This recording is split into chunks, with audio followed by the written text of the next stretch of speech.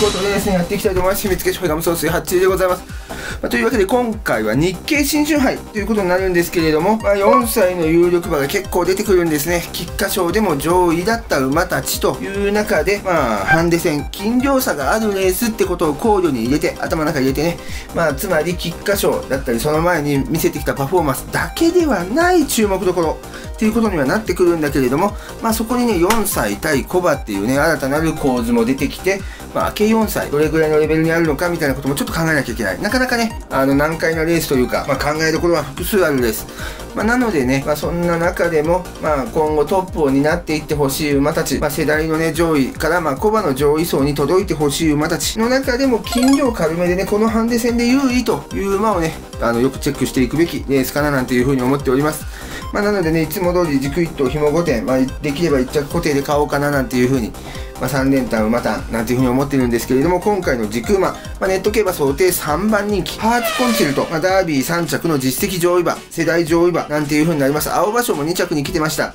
まあ、青葉賞のね、勝ち馬がダービーで残念なことになりましたが、それがなければ、まあ、ハーツコンチェルトを物差しにしてたらダービー突き抜けてたんじゃないか。まあ、そしてそこからの着差を考えてもね、ダービー3着は妥当なところ、なんていうね、ハーツコンチェルトの実績だったりする。まあ、神戸新聞杯こそね、叩き一戦みたいなレースでしたが、菊花賞でもね、まあ、6着とはいえですね、不利があったりして、まあ、上位入選した、まあ、一塊でゴールした組にはいたというふうに言える中で、まあ、金量55キロは若干、まあ、恵まれた感はあります。まあ、世代のね、重賞2着馬って考えたら55キロ妥当なんだけれども、まだ準オープン在籍って考えたら、まあ、あと2、3キロ金量軽くてもよかった。まあ、後の方のね、その判断基準を取るとすれば、まあ、あと2キロ軽かったはずなんですよ。準オープン在籍馬ってことで言えば。それをね、まあ、中途半端に、あと1キロ金量軽いと思ってましたとかって言ってる調教師もね、なかなかこう、ハンデがどうやって決まるかって分かってないアホだとは思うんですけれども、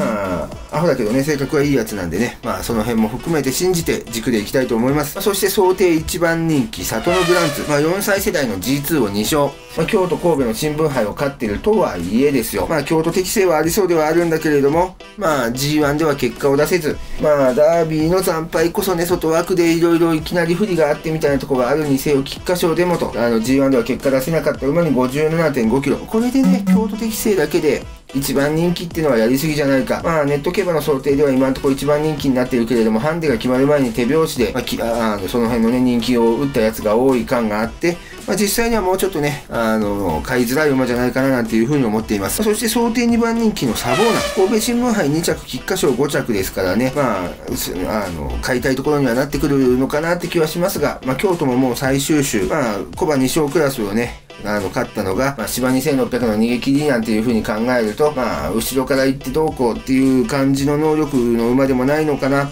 まあ、あの、芝2600でね、安易に2勝目みたいなね、あの、勝ち上がり過程を見ていると、えっ、ー、と、まあ、ちょっと狙いづらいところもあるのかな、近所的にもね、ハーツコンチェルトが優位かなということで、まあ、紐までの評価でいきたいと思います。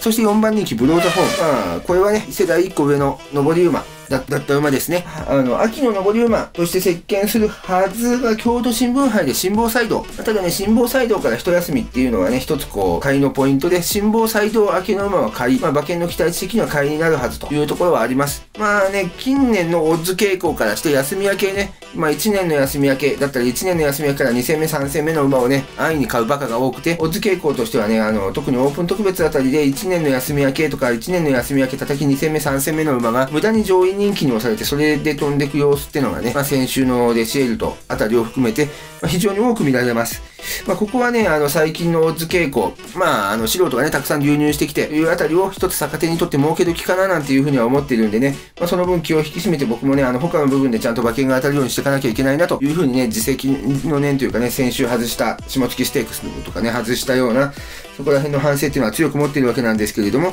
まあ、とはいえね、ブローザ本、過去の傾向からすれば、馬券的には買い要素のある馬、それまではね、注目の上り馬なんて言われてね、どっかのあの、YouTuber さんが買いという風に言ってたなんて話はあります。まあ、ここでね、できればこう、その分オッズが落ちてくれればなおのこと買いやすいんだけれども、近年の傾向からはこういう休養明けをね、あの、何もかも無視して買ってくるバカの方が増えてて、まあ、期待値として最近どうなんだろうなというところはあります。まあ、そして6番人気、レッドバリエンテ。まあ、明け5歳、遅れてきたディープインパクト産駒ですね。ただね、まあ、昇級戦もそんなに差のない競馬ができていた馬ですし、まあ、この血統、まあ、今はね、もう抜けた種牡馬がいないという中で、一世代前の抜けた種牡馬の産駒。まあなんとかね、ここで一発決めればね、ディープインパクト最後の後継種牡馬みたいなところも見えてきますからね、まあなかなか期待はしておいてもいいところかなというふうには思っています。そして7番人気ディアスティマ、これもでしたっけ、ディープ。まあ明けの7歳、休み明けを一つ叩いた形になると思います。まあアルゼンチン共和国杯、春の東京のね、G2 ハンデ戦から、まあ G2 ハンデ戦渡り鳥みたいな感じでね、アルゼンチン共和国杯まで長く休む形になって、まあその分ね、休み明け一つ叩いた形で、この、えっ、ー、と、京都のまあ G2 ハンデ戦、まあ、G2 ハンデ戦をね、渡り鳥みたいに来てますが、目黒記念でね、57キロで2着に来れてるように、前走の大敗っていうのはね、比較的不可解なもの、0.5キロ増えただけでね、大敗っていうのは不可解なものと捉えられると思います。休み明け一つ叩いて、みたいなところをね、あのー、まあ休み明けについて昔からのキーワードで、あえて語る、まあ、長期休み明けが狙いづらいのもそうだし、まあ、こういったところで、あえて語ることで、まあ、ここはね、一つプラス要素、馬券の変える要素になるんじゃないかということでね、狙ってみて、まあ、今回はね、こういった形でやってみたいと思います。まあ、これでなんとか的中にね、近づけるんじゃないでしょうか。以上、ハッチでした。